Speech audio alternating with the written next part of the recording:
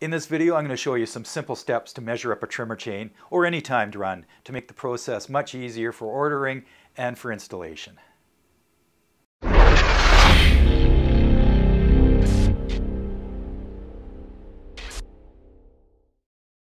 Trimmer chains come in all different configurations and all different styles of lugs, but you can use this process for any timed run. So to accurately measure up a trimmer table or any timed run, you start by counting the runs themselves.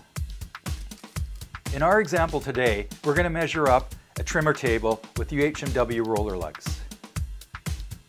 So in this example, we have four runs of 81X chain with UHMW roller lugs. So to determine the chain that you're using in your application, you can download a copy of our chain spec sheet. I'll leave a link in the description below. Next, we count the spacing of the roller lug. So how we determine spacing is we find a roller lug, and that is zero. So you count the next link up all the way to the next lug. So in our example here, the lugs are spaced every 10th pitch. Next, you want to count how many lugs are on each run.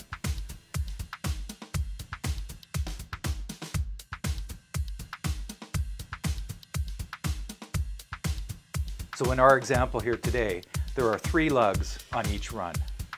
So next we want to determine the length of each run in pitches. So you take the number of lugs per run times the lug spacing. So in our case, each run is 30 pitches long.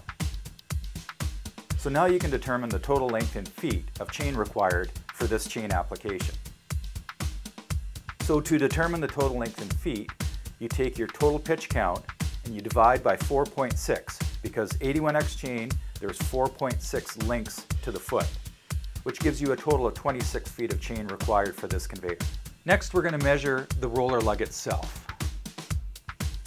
First, we measure the diameter of the roller lug pin. Next, we measure the OD of the roller,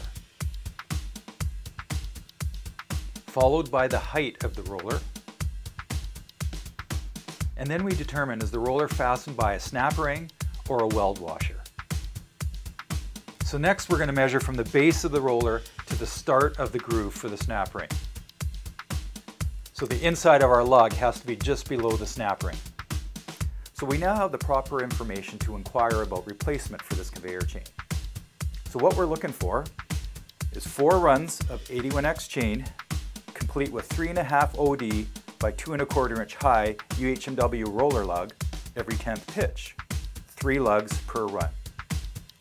So to make the installation a little easier for you, what we can do is we can make up four chains at 30 pitches each. So all you have to do is make one connection for each chain. This will make the installation quick and easy. So there's a basic run through of how to measure up a trimmer chain and how to inquire about replacement. So I hope you found this helpful. For more videos just like this, subscribe to the channel or go to macchain.com or call 1-800-663-0072 if you have any inquiries regarding conveyor chain or sprockets. Thanks for watching.